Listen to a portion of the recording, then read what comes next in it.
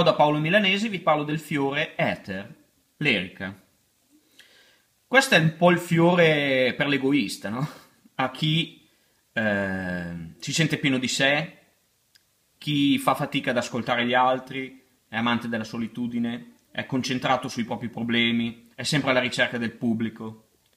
Quindi Ether ci aiuta a prendere contatto con noi stessi, ma senza essere ossessionati dal proprio ego, dai propri bisogni personali.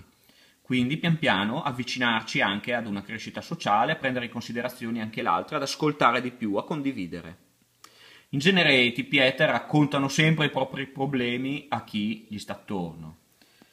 E quindi ether è il fiore dell'identità, ma è anche un po' il fiore che rappresenta il bambino capriccioso, no? che vuole, vuole, vuole, vuole. Grazie all'equilibrio dato da questo fiore di Bach, eh, si arriva ad essere meno egoisti, a comprendere più chiaramente la situazione e le esigenze di altre persone.